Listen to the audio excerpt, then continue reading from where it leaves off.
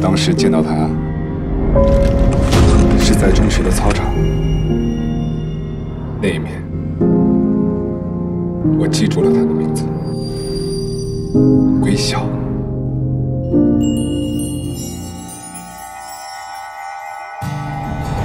你的名字最后一个字是陈，不是晓。陈晓，早晨的日光，很配吧？喜欢我吗？你这么问呢？我们先说好一件事儿，在一起了就不许分手。那个时候，把所有情感都寄托在一个电话线上，好像我们在平行的两个世界里。我每次听到他叫我陆晨，我都觉得那是世界上最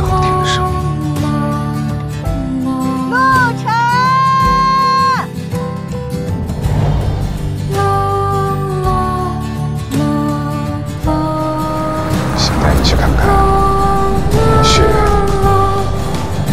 日落、树林，知道这叫什么吗？什么？